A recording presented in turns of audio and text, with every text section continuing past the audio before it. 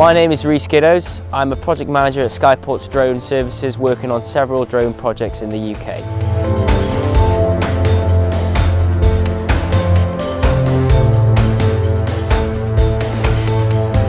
The Pyka Pelican Cargo stands out as an exceptionally capable logistics platform with the ability to transport 200 kilograms at a cruising speed of 80 miles per hour.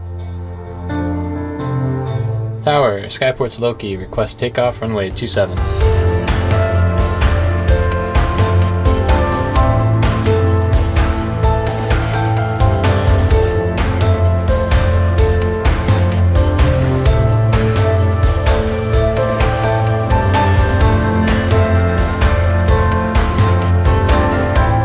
What truly sets this system apart is its commitment to environmental sustainability.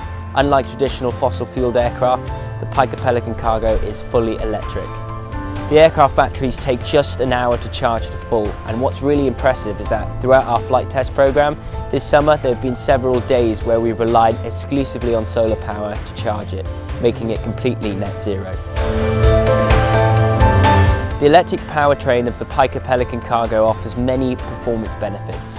With four powerful electric motors propelling the aircraft, it has access to instant power, enabling it to take off and land in a mere 100 metres.